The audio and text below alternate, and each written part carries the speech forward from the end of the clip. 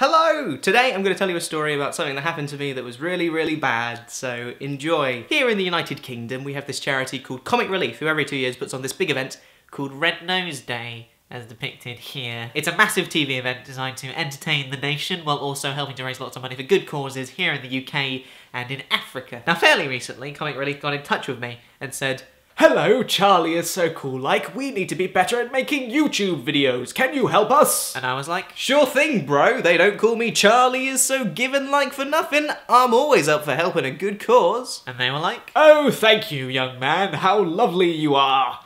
And uh, that's exactly how it happened. So I went to go and meet with Comic Relief and they were like, do you want to make a YouTube video for us? And I was like, sure. And then they were like, oh, by the way, are there any celebrities that you're interested in doing something with for this video? Because if we ask nicely, we might be able to get one for you. So they weren't really just saying, do you want to make a video for our good cause? They were also saying, pick a celebrity that you want to meet and we might be able to have them come around your flat so you can make a video with them. And that's what happened sort of. I told them that I was a massive fan of this big musical comedian called Tim Minchin, and that in an ideal world I'd like to just write a song with him, not thinking that would happen, obviously. But they came back to me and said, sure, Tim Minchin's interested, when do you want to start? And I said, ah, this is exciting. So I wrote a song of Tim, which was lovely, and then on the day before he was meant to fly out to Australia, he came around to my flat to film it, which was a bit mental. I insisted that we learn the song, and so we spent about four hours trying to get a take of it when he was only meant to stay over for about an hour and a half. That was also a bit crazy. We finally get the take. Tim flies back to Australia, never to be seen again. I'm very aware of the fact that we probably won't have another chance to do this.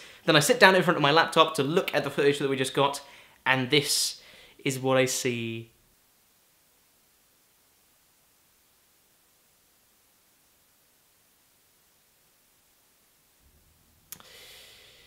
So it turns out that I forgot to turn the microphone on uh, desk. Then I get an email from Tim Minchin that says, You're right, Charlie, I had fun today. I hope you did as well. Can you send me the video?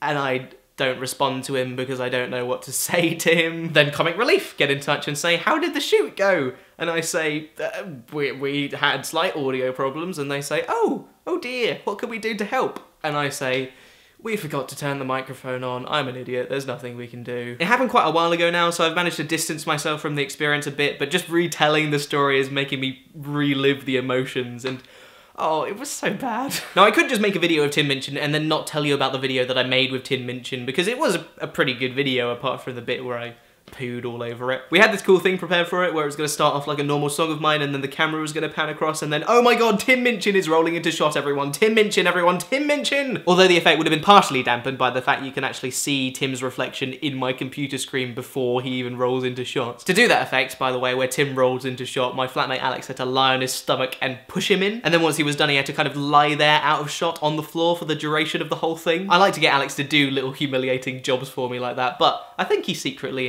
enjoyed it being underneath Tim Minchin and all. Ultimately, I realised the best thing I could do with this situation was just tell you the tale of the whole thing so you can revel in my misfortune, because if nothing else, it's quite a good story. The tagline for Comic Relief is do something funny for money, so at this point I was going to say, we just did something funny for money, now it's your turn. But now I have to say, I tried to do something funny for money, but failed miserably. Now it's your turn to make up for my mistakes. So if you'd like to raise some money for charity and do something for Comic Relief this Red Nose Day, then you can go to rednoseday.com forward slash fundraise. I wish you good luck, I hope you do better than I did, and I will see you at a point in the future. Goodbye. Uh, you've just had the almost imponderable joy of watching Charlie is so cool like, which makes you like cool.